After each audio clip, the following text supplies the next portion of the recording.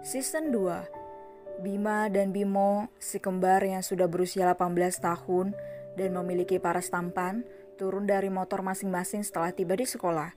Setelah itu dari arah pintu pagar, tampak sebuah motor besar yang sama persis dengan milik Bima dan Bimo masuk dan langsung diparkirkan di samping motor si kembar.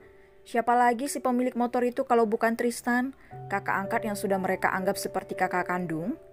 Seperti biasa, kedatangan ketiga orang itu selalu menarik perhatian, terlebih para kaum Hawa. Namun, para kaum Hawa itu hanya bisa mengagumi mereka dari jauh karena sikap dingin ketiganya, terlebih Bima yang memiliki sikap jauh lebih dingin daripada Bimo dan Tristan. "Kenapa kamu baru sampai?" tanya Bima pada Tristan setelah pria itu meletakkan helmnya di atas motor. "Karena aku tidak seperti kalian berdua yang mengemudikan motor dengan kecepatan tinggi," Lain kali, aku mau kalian jangan seperti itu lagi. Jalanan itu bukan hanya milik kalian berdua, saut Tristan yang sekaligus memberikan nasihat pada kedua adik kembarnya itu. Ya, ya, ayo kita masuk. Pungkas Bima yang tidak ingin membantah ucapan kakaknya itu. Ketiga pria tampan itu kemudian mengayunkan kaki untuk menuju kelas masing-masing. Bima dan Bimo mengambil jurusan IPA sedangkan Tristan lebih memilih untuk mengambil jurusan IPS. Di saat mereka berjalan menuju kelas masing-masing, ada yang sangat janggal di mana banyak yang menyapa Bimo dan Tristan, tapi tidak ada satupun para perempuan yang berani menyapa Bima. Bahkan untuk melemparkan senyuman ke arah pria itu juga tidak. Karena apa? Jawabannya tentu saja karena Ayunda. Gadis yang merupakan tunangan Bima dan yang terkenal dengan kegalakannya pada perempuan-perempuan yang sengaja ingin menarik perhatian Bima. Dalam satu sisi, Bima merasa beruntung dengan kondisi itu karena dia merasa tidak kesulitan untuk mengatasi rayuan para siswi di sekolah. Namun di sisi lain, Bima juga merasa risih karena Ayunda memperlakukannya seperti hak milik yang tidak ingin dibagi pada siapa pun. Pagi Bima, terdengar suara seorang wanita memekik dengan riangnya. Dari suaranya, Bima sudah tahu siapa pemilik suara itu. Siapa lagi dia kalau bukan Ayunda. Bima menolak karena datangnya suara, dan sesuai dengan dugaannya, sangat benar kalau pemilik suara itu adalah Ayunda, wanita yang benar-benar sangat menyebalkan baginya. Di samping wanita itu berdiri sosok gadis cantik lainnya yang tidak lain adalah Mikaeli.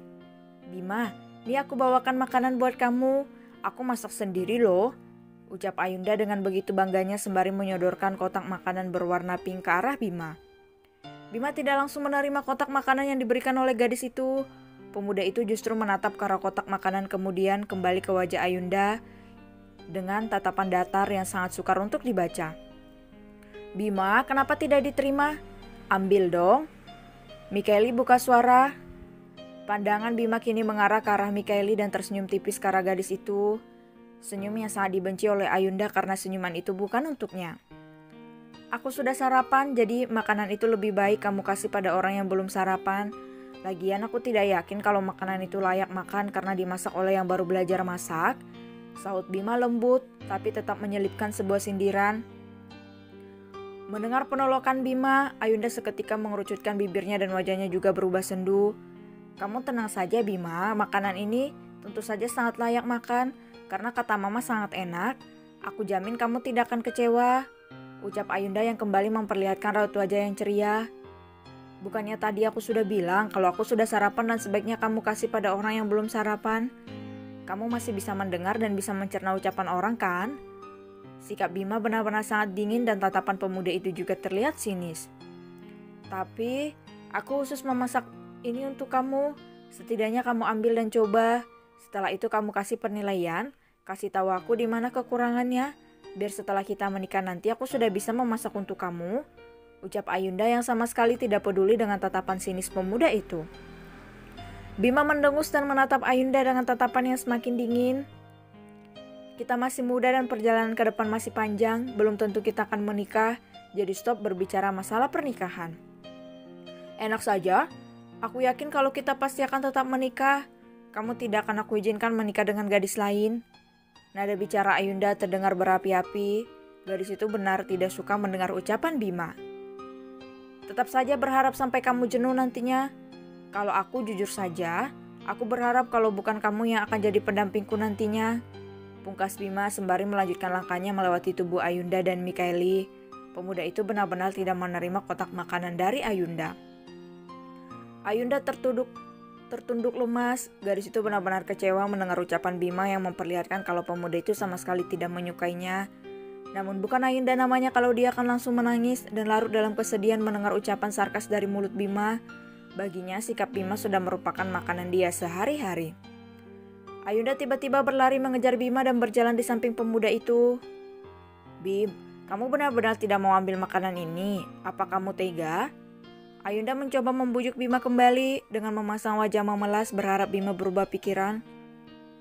Bima sontak menghentikan langkahnya dan mengembuskan napas kesal lalu menoleh ke arah Ayunda. Sekali lagi aku mau mengatakan dengan jelas, aku sudah sarapan tadi. Kalaupun aku menerimanya, kemungkinan makanan itu akan berakhir di tong sampah atau bahkan kasih pada orang lain. Jadi tolong jangan paksaku untuk menerimanya. Bima berbicara dengan suara yang sangat pelan tapi penuh penekanan. Bukan tanpa alasan Bima merendahkan suaranya. Itu dia lakukan karena pemuda itu masih menjaga harga diri Ayunda di depan para siswa yang melihat ke arah mereka. Nada bicara Bima memang sangat pelan tapi benar-benar mampu menusuk hati Ayunda. Oh ya, Aku mau mengingatkan kamu lagi, tolong berhenti jadi kurir makanan karena aku sama sekali tidak terbiasa makan masakan yang bukan masakan mamaku. Pungkas Bima seraya kembali melanjutkan langkahnya, meninggalkan Ayunda yang mematung. Kali ini Ayunda tidak berniat untuk mengajar Bima lagi.